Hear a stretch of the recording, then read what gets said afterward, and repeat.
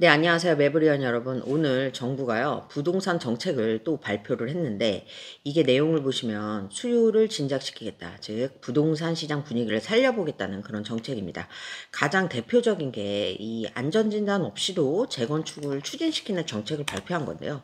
그동안 이 30년 넘은 아파트 사시는 분들은 이 아파트가 낡아만 가고, 음, 재건축은 안 될 것 같고, 걱정이 많았죠. 그래서 구축 아파트 사시는 분들이라면요, 오늘 정부 정책 충분히 주목해야 합니다. 자, 오늘 그 내용 같이 보겠습니다. 1월 10일 국민 주거 안정을 위한 주택 공급 확대 및 건설 경기 보완 방안 발표 이렇게 돼 있는데요. 재건축 재개발 규제 완화, 주택 공급 확대, 공공주택 공급 확대, 건설산업 규제 완화 이렇게 4개로 돼 있습니다. 총 4가지를 발표했는데 이 중 오늘은요. 많은 사람들이 가장 관심을 갖는 거죠. 재건축 안전진단 늦게 해도 된다. 요거 중심으로 살펴보고요. 소형주택 취득세 면제와 단기 임대사업자 부활은 2탄에서 다루도록 하겠습니다. 네, 여기 안전진단 없이도 결론적으로 말하면 재건축을 시작할 수 있다는 건데요. 이게 무슨 말이냐.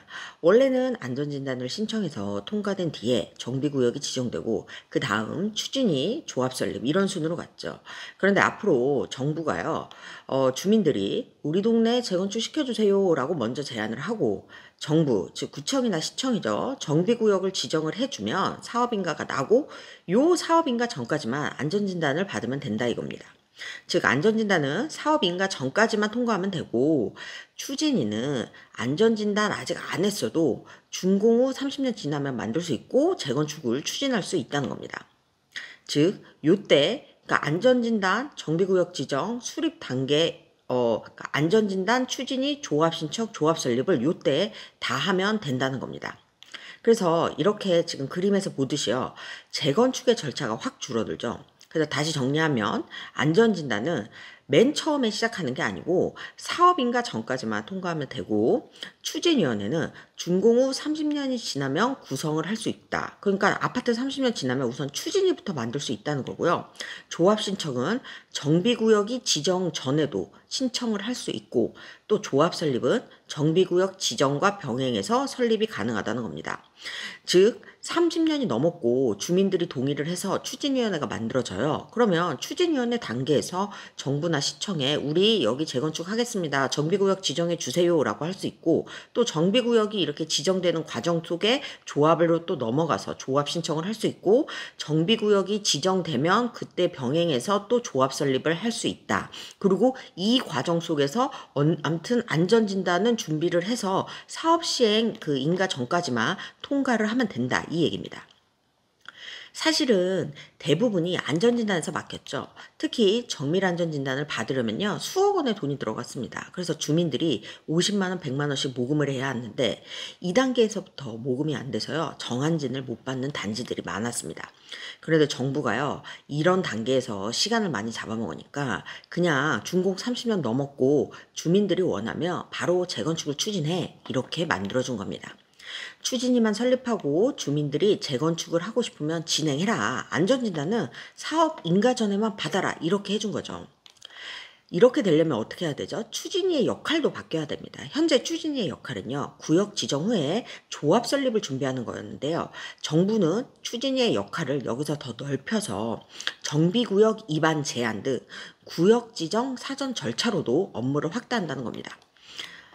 그러면 예를 들어서요, 주민들끼리 합심을 해서 재건축하자 이런 분위기가 높아요. 그러면은 우선 아, 원래대로라면 안전진단을 위해서 돈을 모금해야 되는데, 왜냐면 이걸 우선은 좀 뒤늦게 해도 되죠. 그러니까 재건축을 하자 이런 분위기가 있으면 우선 추진위를 만들고 추진위 단계에서부터 쭉쭉쭉 단계를 진행을 하면서 안전진단은 되게 충분한 시간을 갖고 이렇게 준비를 할 수 있게 된다는 겁니다. 또 그러면 문제는 이렇게 안전진단을 좀 뒤늦게 미루더라도 안전진단 자체를 필요 없게 해준 건 아니거든요. 안전진단은 받아야 돼요. 그러면 안전진단 통과 안 되면 어떡하냐. 사업 시행 인가 그 직전에 만약에 안전진단 통과가 안 될 수도 있잖아요. 그래서 정부는 노후도가 높은 아파트는 안전진단이 걸림돌이 되지 않도록 안전진단 기준을 완화하겠다고 밝혔습니다. 즉 여기서 정리해 보면요. 이러한 패스트 트랙, 즉 안전진단을 늦출 수 있는 단지는요. 노후도 30년 넘은 단지가 대상입니다. 30년 넘은 단지들은 안전진단 없이도 재 재건축 추진이 가능해진 거고요.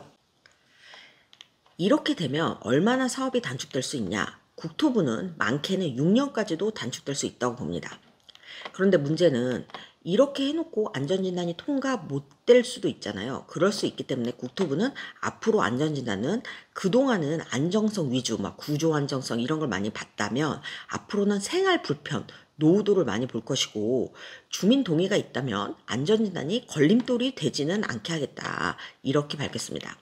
즉 이 말은 뭡니까? 생활이 불편하고 주민들이 나 낡은 아파트 싫다. 재건축하겠다. 의지만 있으면 웬만하면 안전진단을 통과시켜주겠다는 겁니다.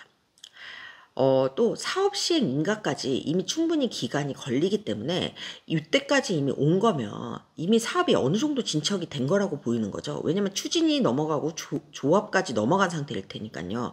그래서 요 정도까지 가면 설마 안전진단을 이유로 재건축을 못하게 발목을 잡지는 않겠다는 겁니다. 그런데 문제는 정부가 이거 공수표 날리는 거 아니냐 이렇게 볼 수도 있죠. 예를 들어 실거주 의무 폐지 이것도 정부가 추진을 하겠다고 했지만 법 통과가 안 되면서 아직도 실거주 의무 폐지가 안 되고 있죠. 그런데 이번에 이 안전진단 요 좀 빨리 해주는 거 그러니까 안전진단 규제를 완화시키는 것도요 법 개정 사항입니다. 도시정비법 개정안을 발의를 하고 이게 통과가 돼야 되는데 이것도 야당의 반대, 어떤 국회의 상황에 의해서 통과가 안 될 수도 있죠. 그런데 국토부의 설명은 어차피 이 야당 의원들도 결국 지역구 의원들이기 때문에 주민들 낡은 아파트에 사는 주민들의 불편 목소리가 있어서 안전진단으로 발목 잡는 이런 거를 좀 규제를 완화시켜 주려는 법을 설마 뭐 동의를 안 해주겠냐. 지금 이런 상황입니다. 그래서 국토부의 생각은 어, 야당이 잘 설득이 돼서 법 통과를 시키겠다. 뭐 이렇게 밝혔습니다.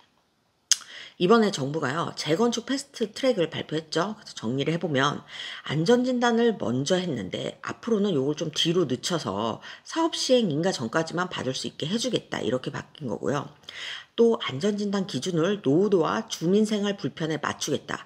노후도, 그러니까 준공 30년 넘어가고 주민생활이 불편하면 웬만하면 안전진단이 걸림돌이 돼서 재건축을 못하는 일은 없도록 하겠다. 이렇게 정책을 바꾸겠다. 이렇게 지금 추진을 하겠다고 발표를 한 겁니다.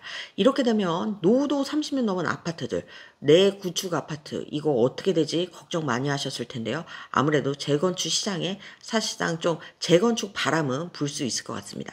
다만 중요한 건 이거는 법 개정 사항이어서요. 법 개정이 안 되면 말짱 도루묵이 된다는 거고 그래서 이번 실거주 무 폐지처럼 구, 어, 여당과 야당의 어떤 합의 과정 계속 지켜봐야 한다는 거고요.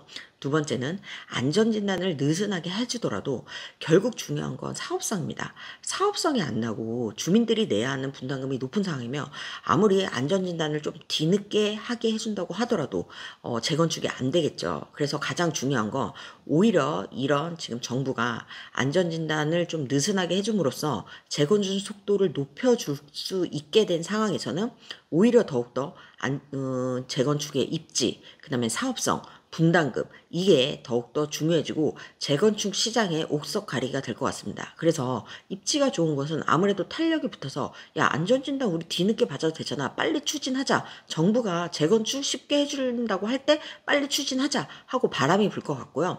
그 외에는 아무래도 좀 지지부진 될 수가 있겠죠. 그 외에 정부가요 소규모 주택수를 제외하고 단기 임대 사업자를 부활하겠다 이런 기타 정책도 많이 발표했는데요 이 부분은 저희가요 2탄에 올리도록 하겠습니다 오늘 안전진단 그 절차를 좀 뒤늦게 하는 거 안전진단 없이도 재건축을 추진할 수 있게 하는 정책 레브리언 분들의 생각은 어떠신가요? 여러분들의 아파트 재건축 될 수 있을 것 같으세요? 네 의견 댓글로 주시면요 저희가 보고 또 후속 영상에 반영하도록 하겠습니다 감사합니다.